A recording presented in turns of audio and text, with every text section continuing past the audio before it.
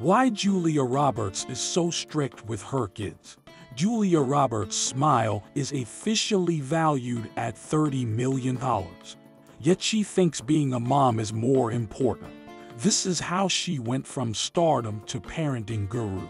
Roberts met cameraman Daniel Moder on the set of The Mexican in 2000. However, Moder was married and Roberts was dating another. Yet she quickly realized he was the one. The couple has been married for over 20 years, but they are still as in love as when they first began dating.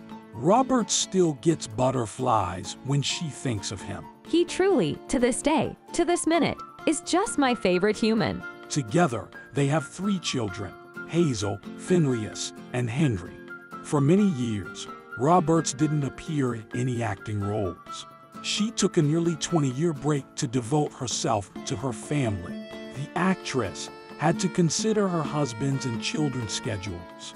She focused on raising her children and being there for them. Roberts confessed at that time she considered herself a homemaker, and she took her job as a mother very seriously. Roberts was never far from her children. She was only gone for the length of one of their naps. I have a sense of great pride in being home with my family. Roberts said, however, as her children got older, the actress took on more projects. She felt she owed it to them to show how creative she could be. Moder fully supported her decision. Roberts isn't a hands-off parent like most Hollywood celebs.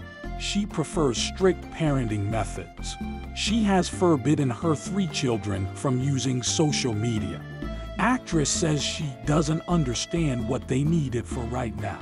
She also limits the amount of TV they watch. Roberts thinks that it's important that children know their boundaries.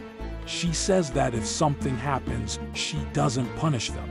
She prefers to have conversations with them. I think my serious face is punishment enough. Roberts also makes her kids do regular chores. They make their beds and do laundry. She thinks those are important life skills. Roberts and Moder are intent on keeping their kids out of the spotlight. The pair moved from the bustle of LA to San Francisco. There, the children could grow up with more privacy. Roberts says she and her husband are people of strong convictions. They want to instill compassion in their kids, by example and by preaching.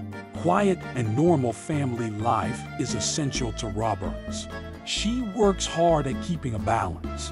Roberts once said acting was her dream come true. Apparently, it wasn't her only one. Now that her kids are older, she can have both.